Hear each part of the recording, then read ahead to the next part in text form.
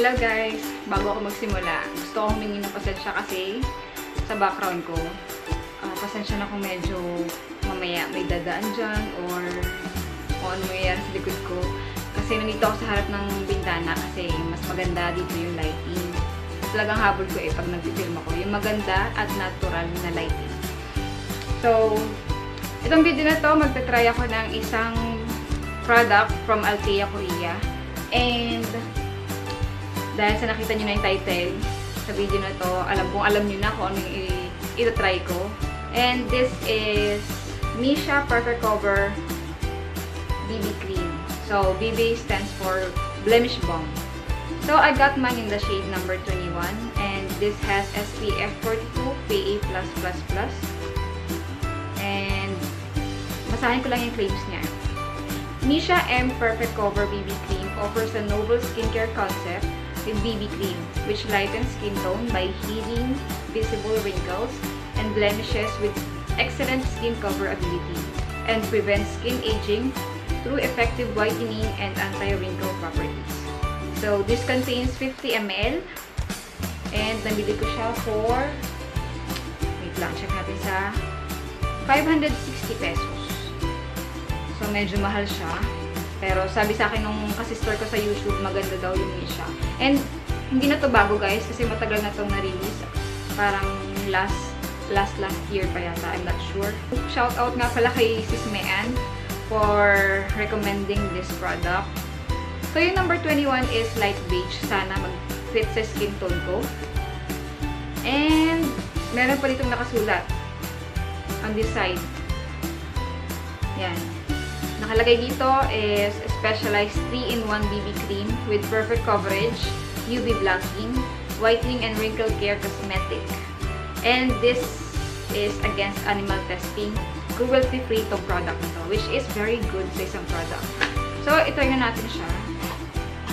Pag binuksan mo siya, ganito itsura niya. It comes in a squeezy tube. And meron siyang pump. Try na natin siya dahil excited na akong gamitin to. Hmm, talaga. So, magpapump ako dito ng one full pump lang sa aking kamay. Tingnan natin kung gaano kadami yung mga cover niya sa aking pamumukha. So, ito yung consistency niya. Hindi siya runny. So, thick tong consistency na to. And hindi siya nagpo-focus. okay, so, maglalagay lang ako ng velcro sa aking buhok. And itong velcro na to is nabili ko kay Miss Lee. Taga-Tayabas siya. If you're from Lucena, taga-Tayabas siya. And meron akong dryness sa aking face. Wala akong nilagay sa aking face, guys, ha. Uh, ganun naman talaga ako pag nag-review ako ng foundations or BB. So, i-apply ko siya. Since cream ito, i-apply ko siya using my fingertips on the left side of my face muna. Para ma-compare natin. Ito yung condition ng aking face. Lapit natin para mas makita nyo. So, yan ang aking face today. Ito ang current situation ng aking face. Hmm? Kita nyo dyan, mga blemishes ako dyan. Redness, meron akong pimples dito. And on the side. And dito sa aking forehead, meron ding uh, nagbo-blush na pimple. And meron mga pimple marks. So, i-zoom out ko na kasi baka matakot kayo. Apply ko na siya.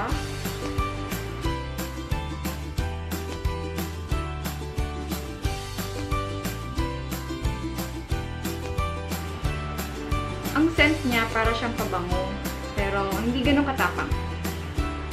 If you're new to my channel, I have combination skin. Yung T-zone ko is oily and yung aking chin area. And the rest normally, pag nag-a-apply ako ng foundations or BB cream, nag-a-apply muna ako ng uh, moisturizer. Pero this time, hindi ako nag-apply kasi nga mag-review tayo ng product. With one layer, ito yung kanyang na-cover. Meron pa ako dito. Siyempre. And ang ganda ng coverage niya, guys. A little goes a long way. Natakpan niya yung redness around my nose and on the side.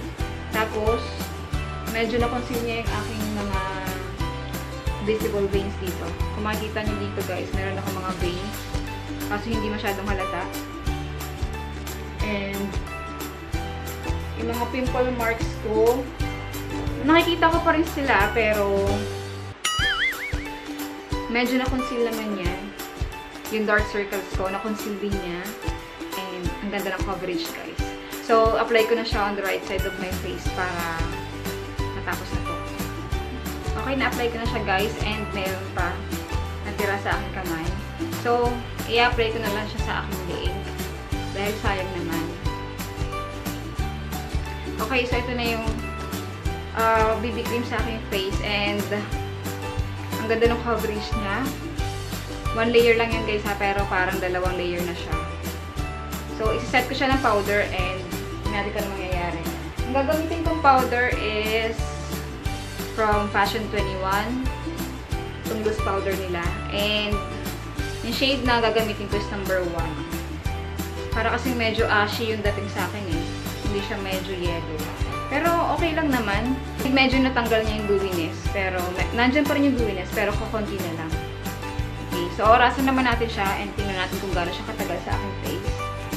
And it is now 10.25 in the morning and babalik ako mamaya guys for my first update.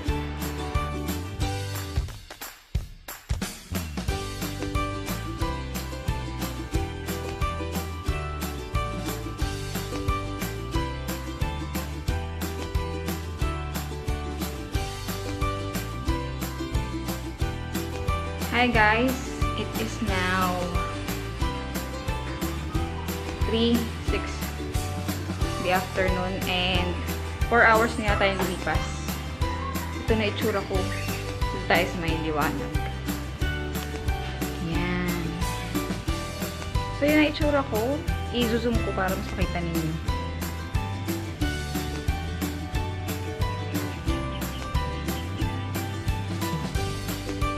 Pag hinahawakan ko siya, medyo sticky. And dito sa forehead ko din. Parang meron ng oil yung mukha ko. Pero, okay pa rin. Okay pa rin siya. Hindi siya pangit tingnan kahit medyo nag-oil up na. So, balik ako mamaya. Tapos mag-vlog tayo. So guys, nandito ako sa Plaza Pin. Sa Lucena. And ito yung itsura ng aking face. Ngayon. I-zoom natin. Yan. Ah, para siyang ano, nagki-clean doon sa mga fine lines ko. Parang na-emphasize niya habang tumatagal yung aking mga, yung dryness ng aking face. I'm not sure, pero parang ganun yung tingin ko sa kanya. And yung aking dark circles, kita ko na, nagki-crease na yung aking dark circles. Pero, pwede ko naman siya gawa ng paraan. Pwede naman ako mag-apply ng concealer kasi hindi naman talaga siya concealer kasi BB cream siya. And ang oras na ngayon ay 4.25 ng hapon. And siguro, last update ko na mamaya, mga 7 o'clock. Babalik ako sa inyo guys for my final thoughts. Okay? 7.40 ng gabi. And dito na itsura ng aking face. Ginahawakan ko siya guys. Hindi siya ganun ka-sticky. Unlike do sa mga foundations na nagamit ko and BB cream. I think this is the best talaga. Pero mag-blot tayo. And yung blotting paper na gagamitin ko is this. From Philip Secret.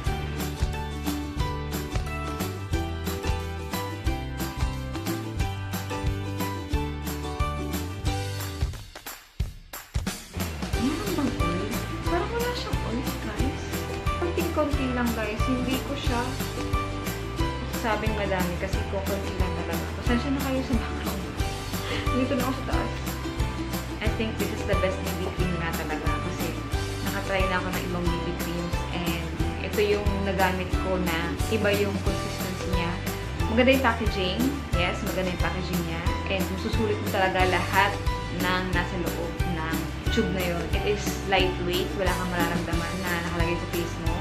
Maganda yung coverage niya. Tama yung sinabi nila dun sa kanila may claim. Maganda yung finish niya. Medyo dewy. Gusto ko yung mga ganong finish. And yung scent niya, okay na okay yung scent niya. Hindi siya ganun kabadil. Kasi yung iba is medyo matapon yung amoy. Pero this one is okay naman siya. Sa flash photography nga pala guys, okay naman siya. Hindi naman ganun ka-obvious yung pagkakaroon niya ng white cast. Hindi ganun kapangit. Kasi yung iba kasi parang talagang parang nahahati na yung ulo dun sa, ano, eh, sa katawan eh. Pero yung kanyang flash photography is okay. And maganda yung oil control niya. Hindi ako ganun ka-oily, unlike dun sa na-try kong ibang ibang BB creams. So, ang hindi ko lang nagustuhan sa kanya is medyo na-emphasize niya yung aking mga dryness sa face ko. Pero habang tumatagal, nawawala din naman siya. Like dun sa aking laugh line. Na-emphasize niya, pero okay lang. Ah, mahalaga sa akin is hindi siya magmumukhang tsaka. So, kailangan talaga, pag mag-a-apply ako nito, mag-a-apply ako ng moisturizer and then ng eye cream under eyes. Yun namang pagkikris ng under eyes ko kanina is magagawa naman ang paraan niya eh. Pwede mo naman siyang lagyan ng concealer kasi nga, hindi naman talaga siya concealer. Kaya, okay lang sa akin kahit nag-crease kanina. Yun lang. So, guys, maraming maraming salamat sa panonood. And sana nakatulong to sa inyo kahit medyo late tong aking video, no, aking review na ito kasi alam ko matagal na itong nilabas. And ngayon ko lang siya nabili. Kasi nga, nanay, nagtitipid.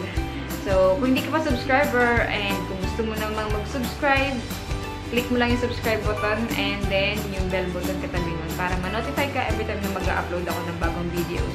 So, yun lang and maraming salamat ulit panonood. See you again on the next video. Bye-bye guys!